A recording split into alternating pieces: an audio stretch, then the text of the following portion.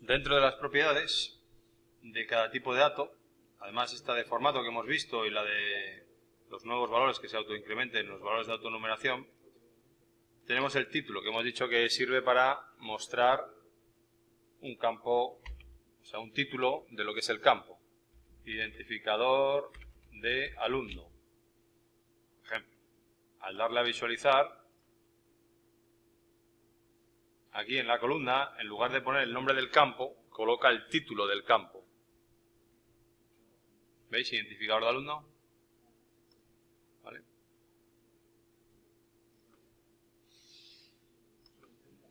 Y podríamos incluso decidir cómo visualizar la, la alineación del texto, izquierda, centro, derecha, etc. Bien, en cuanto a texto corto, los campos de tipo texto corto tienen sus propias propiedades, algunas en común con los autonuméricos, por ejemplo, pero vamos a ver cuáles podrían ser. Eh, el campo de eh, texto corto, lo primero que vemos ya es que el tamaño del campo aquí pone 255 caracteres. Ese era el tamaño máximo que podía tener. Pero podemos limitarlo, por ejemplo, a 8 caracteres. Vamos a poner 12 caracteres. 12 caracteres. El tamaño del campo.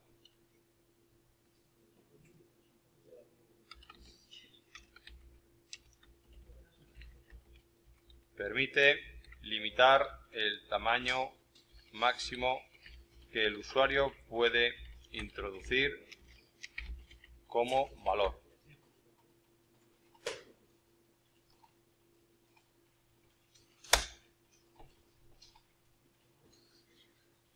Vale. El, campo si tiene 12 de tamaño, al introducir uno nuevo, un valor nuevo, vamos a suponer metemos un valor de este tipo, 10, 11, 12, 13. Bueno, fijaros que ahora estoy pulsando por aquí en el teclado y ya no me deja introducir más, directamente me lo limita.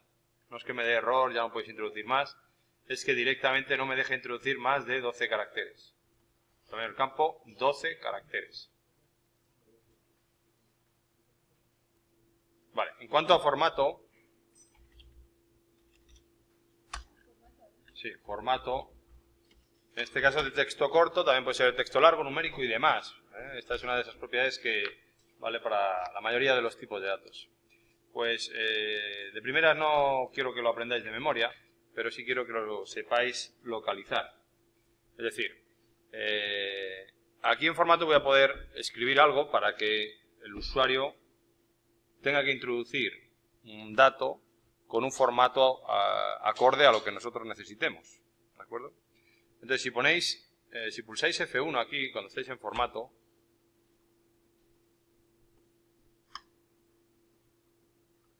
y escribís en la búsqueda formato,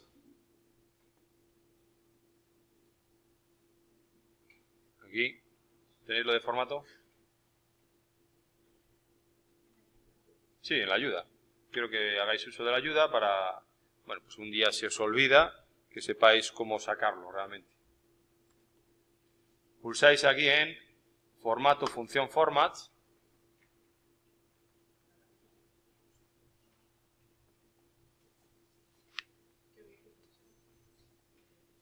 Formato, función format.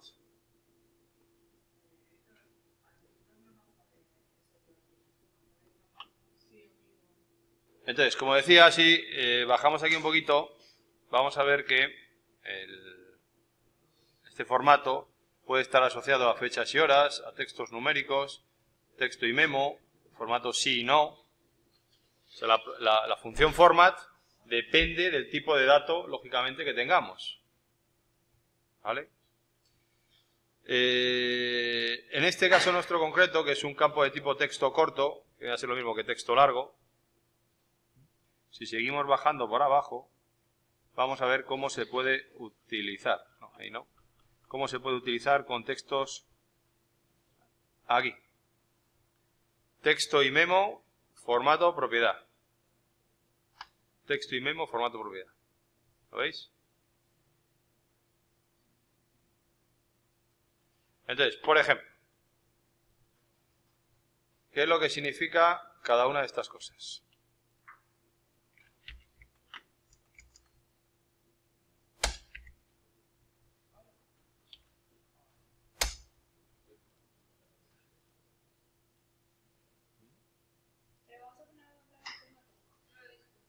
Ya va, ya va, ya va. Dame un segundo.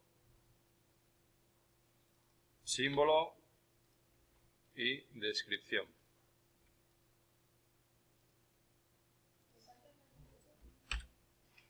Dos columnas, de momento lo importante.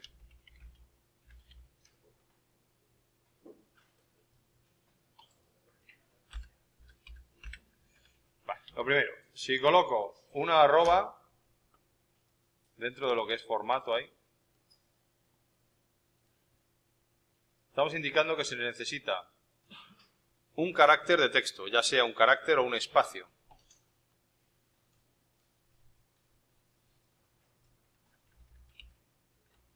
Si lo que pongo es un ampersand de estos,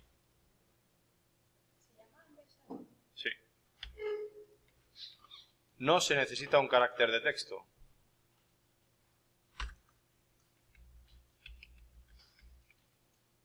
El menor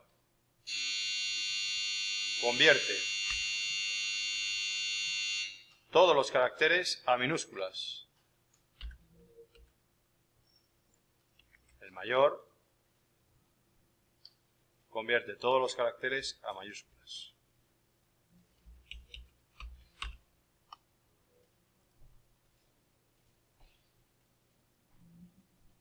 Ejemplo práctico, porque si no nos enteramos muy bien qué es esto. Pongo aquí formato mayor. Formato mayor. ¿Qué estoy diciendo? Que, fijaros ahora, los textos de los nombres aparecen en mayúsculas. Aunque si yo me sitúo dentro de ellos, se ve como realmente han sido introducidos. ¿eh? Que en este caso es la primera en mayúsculas únicamente. Pero ahora, eh, visualizar el formato, esto significa que estará en mayúsculas. Es un poco extraño, a lo mejor no estáis muy habituados a verlo, pero esto es la, el significado, básicamente. Como podemos ver en la ayuda, no necesito aprenderme todo esto, solo saber manejarlo, ¿eh? Fijaros, solo saber manejarlo, que no es poco, pero bueno. Si yo bajo un poquito más en la, en la ayuda, vemos más ejemplos. Vemos más ejemplos. Vemos, por ejemplo, que esto, si yo coloco estas tres arrobas guion, dos arrobas guion, cuatro arrobas, significa que el formato, formato con el que se va a visualizar es este.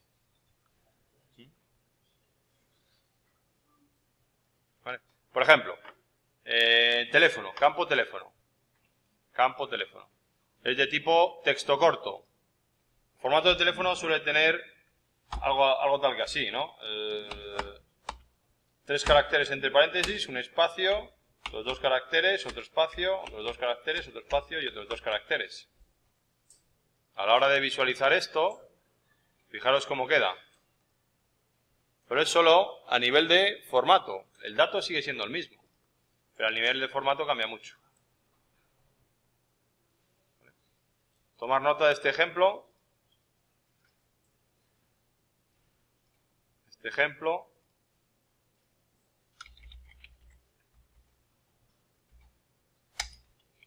hace que tengamos un formato tal que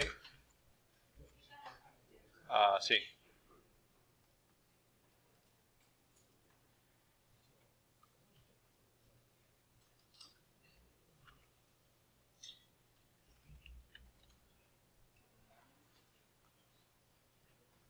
Pasamos ahora a lo que es máscara de entrada. Máscara de entrada.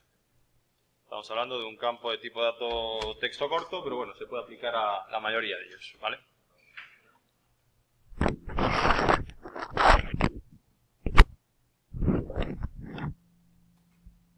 En cuanto a la máscara de entrada, se trata de definir cómo queremos que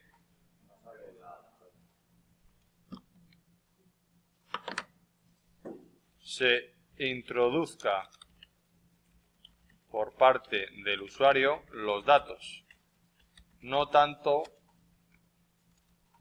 a nivel de visualización,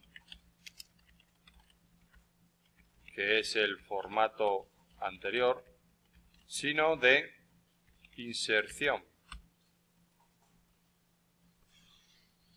Antes con el teléfono, bueno, insértame estos números, pero bueno, ya me encargo yo de ponerlos como yo quiera. Ahora no, ahora quiero que me inserte valores más de 5, mayor de 5, menor de 5. Eh, imaginaos que es una edad de, un, de gente que tiene carne de conducir.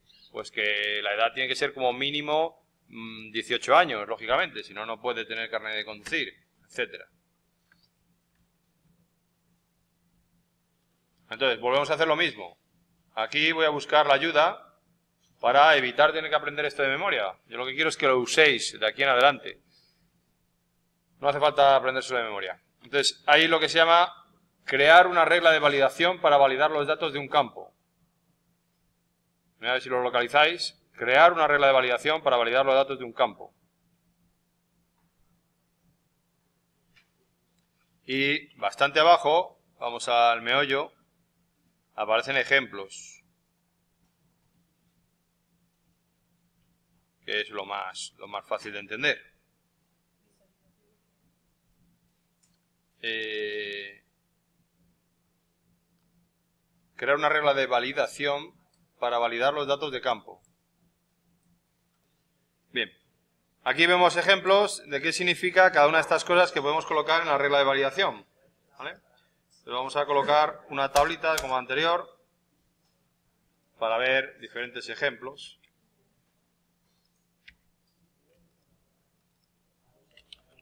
Máscara y descripción. Por ejemplo, eh, colocar esto.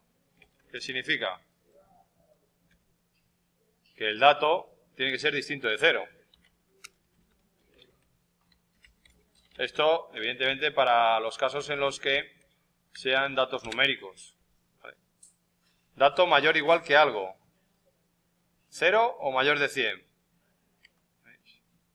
Por ejemplo. Cero o mayor 100. Dato 0 o mayor que 100. Entre 0 y 1, vale. Sí, esta también es interesante. Cuando hablamos de fechas, también se puede especificar condiciones en la máscara de entrada de una fecha. En este caso estaríamos indicando entre almohadillas esa fecha. Solicitamos que la fecha sea inferior a el 1 de enero del 2007.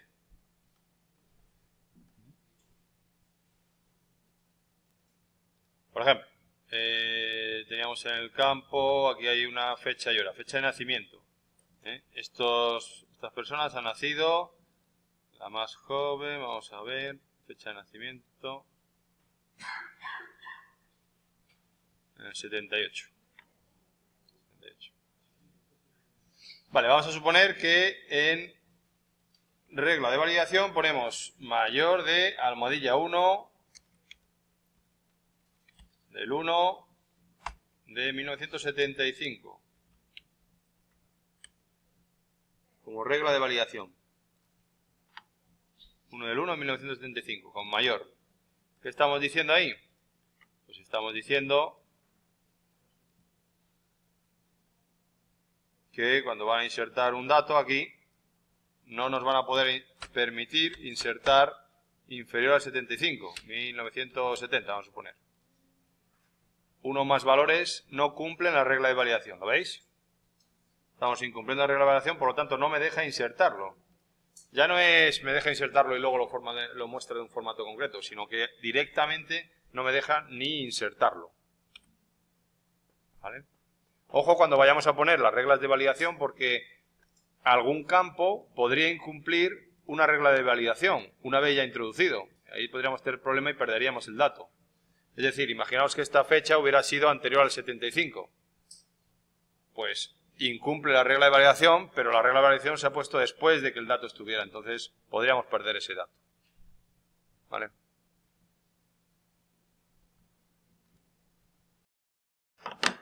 Bien, ahora vemos algún ejemplo más interesante con el tema de la máscara de entrada, para que veáis hasta dónde puede llegar. ¿Recordáis esta función? La función fecha la utilizamos en Excel. Eh, la función fecha te daba la fecha actual de hoy. También se pueden hacer, utilizar funciones en Excel, las mismas, ¿vale? Entonces, ¿qué estoy diciendo con esto? Pues estoy diciendo que el dato introducido tiene que ser anterior a la fecha de hoy. ¿De acuerdo? Hasta ese nivel llegamos. Llegamos a la posibilidad en la máscara de entrada de poder utilizar funciones ahí dentro. De tal manera que tiene que validarse esa función o esa condición que estoy poniendo, en este caso menor que la fecha actual. Y luego ya hay uno muy interesante, por ejemplo este, que vamos a decir que es un poco para nota, ¿no? ¿Vale? Eh, ahora os lo explico, vais a ver.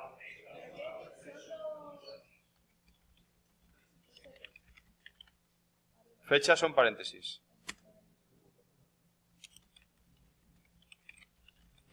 Esto es fácil de entender, ¿vale? No de primeras, evidentemente, porque parece algo demasiado raro, pero luego es bastante fácil de entender. Mirad. Eh, ¿Cómo todo este conjunto de texto, entre comillas? De la A a la Z, un número de caracteres indefinido, con el asterisco. Luego tiene que haber una arroba, luego de la A a la Z, un número indefinido de caracteres, punto com. O también es válido de la A a la Z, un número de caracteres indefinidos, con una arroba, de la A a la Z.net o de la A a la Z.org. Un correo electrónico de ese estilo. Pero bueno, con lo que me quiero que os quedéis con esto es, por ejemplo, este tipo de cosas. Entre corchetes se coloca de la A a la Z para decir que puede haber cualquier carácter entre la A y la Z. Y en este caso, si luego le colocas el, asterisco ahí a continuación, estarías indicando un número de caracteres indeterminado. A nivel de propiedades, después de máscara de entrada, perdón, eh, estábamos hablando de la regla de validación. Aparte de la regla de validación, tienes un texto de validación. El texto de validación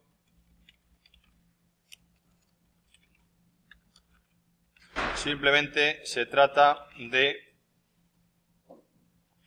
indicar al usuario qué tipo de máscara de entrada debe verificar para facilitarle su inserción. ¿Vale? Simplemente es información que le damos al usuario oye, mira, que tienes que meter la fecha anterior a no sé qué, o la fecha posterior a no sé cuál. Texto de validación, aquí vamos a suponer en la edad. En la edad es fácil hacer una máscara de entrada mayor que cero. Perdón, regla de validación. Regla de validación, aquí.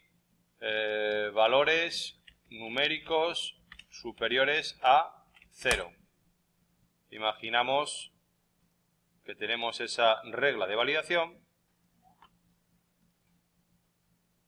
y en la regla de validación ponemos aquí en 1 el menos 5. Vamos a ver algo ilógico, pero bueno, ¿veis?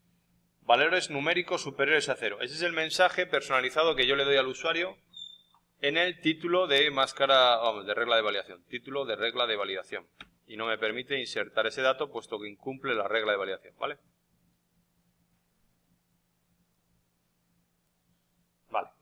Otra de las propiedades, valor predeterminado. Valor predeterminado.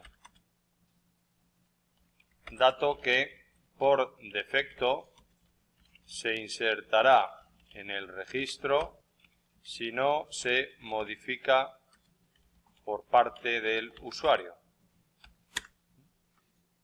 Es decir, vamos a suponer que en ciudad de nacimiento que es de tipo texto corto, tenemos como valor predeterminado Valladolid. Es decir, mm, bueno, la mayoría son de Valladolid. Pues vamos a poner ya por defecto Valladolid para facilitar la inserción del dato.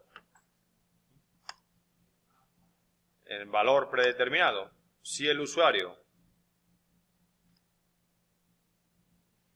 inserta un nuevo dato, Fijaros aquí, cuando cambio de campo y me meto en lo que es el ciudad de nacimiento, si no pongo nada, si no modifico nada, a Joselito le coloca como que ha nacido en Valladolid.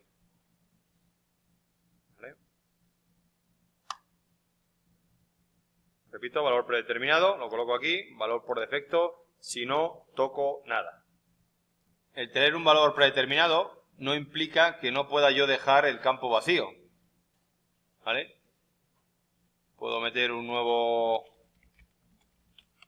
un nuevo registro y aquí en ciudad borrar el dato. Ah, bueno, es que me dice que tiene que ser mayor que cero. Lo he puesto mal ahí el la ciudad de nacimiento no puede ser mayor que cero. Disculpar, he puesto... Ah, en edad he puesto mayor que cero. En edad. María de la O. Ponemos 99. Y lo que estaba diciendo era que en ciudad de nacimiento, en blanco. Lo puedo dejar en blanco, ¿vale? ¿Veis? María de la O no pone la ciudad de nacimiento pero simplemente es un valor por defecto. Otra cosa será que yo pongo aquí que el campo es requerido, ¿veis? Requerido si no. Requerido si no. ¿Qué estoy indicando con esto? Con esta propiedad. Si no, indico que es obligatorio introducir valor al campo. Es obligatorio introducir valor al campo.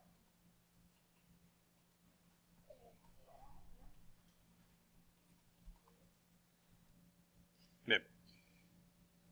Hemos visto requerido sí en ciudad de nacimiento. Ahora ya no me permitirá dejar un campo que sea requerido en blanco. Cuando yo inserte un nuevo registro,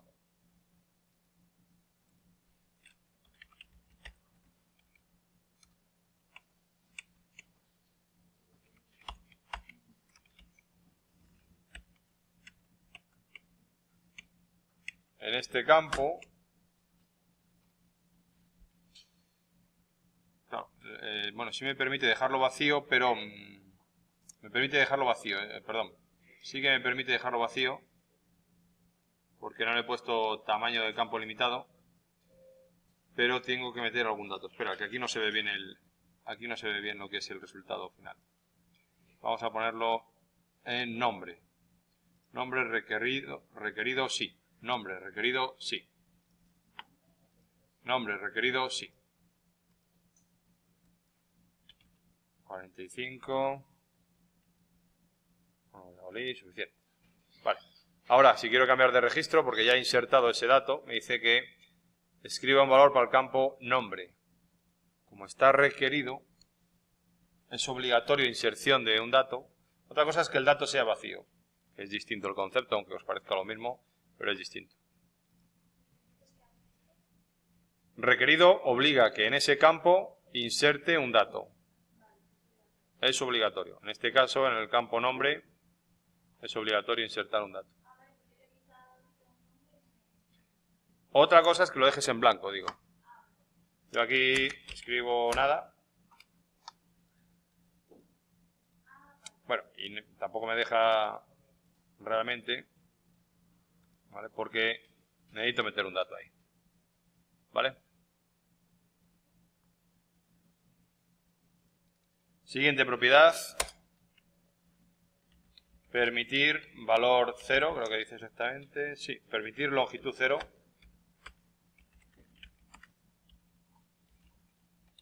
El tamaño mínimo del dato debe de superar cero caracteres. Es decir, que hay que meter un dato mínimo.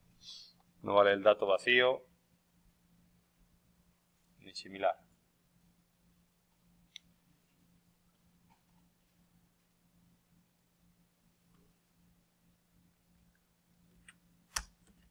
Bueno, cero o no. Quiero decir, es, está claro, ¿no? ¿Permitir longitud cero? Sí. ¿Permitir longitud cero? No. Pues eso ya lo que tú quieras, ¿eh? Si pones no, no estás permitiendo el tamaño cero. Si pones sí, sí lo estás permitiendo. ¿De acuerdo? Bueno, y nada más, por el momento, o simplemente recordaros que todas estas propiedades de aquí abajo cambian con el tipo de dato que tengamos. Vale, al final vienen a ser muy parecidas todas, pero depende del tipo de datos, será una u otra. Por ejemplo, hay cosas incluso como esta, ¿no? A nivel de formato, dentro de los tipos de datos sí no. Formato dentro del tipo de datos sí no. A veces no me interesa sí no, sino verdadero falso, activado o desactivado. Pues puedo elegir ese formato también. Pero eso es específico de, claro, de, de este tipo de datos sí no. ¿Mm? Si quiero verdadero o falso, sí no, activado desactivado. Luego también hay una pestaña aquí de búsqueda que pone mostrar control. ¿Cómo quiero yo que seleccionen sí, no, verdadero, falso y demás? A través de una casilla de texto, a, través de un cuadro de texto, perdón, una casilla, cuadro de texto, la casilla es el check de verificación. Cuadro de texto, un cuadro combinado, un check, un desplegable. Todas esas cosillas, pequeños detalles, pueden cambiar de un tipo de datos a otro. Pero en líneas generales, por ejemplo, moneda también hay algo específico. Evidentemente la moneda tiene para mostrar el dato con euro directamente o sin euro, con, con separador de miles el punto o separador de decimales la coma, formato científico. Y esas cosillas ya las tenéis que ir viendo sobre la marcha, ¿no? Igual que el texto corto, con un, un desplegable y demás, pero bueno, eso del desplegable lo hacíamos mejor con el asistente para búsqueda. Vale, pues nada más en cuanto a las propiedades específicas de cada tipo de dato, ¿vale?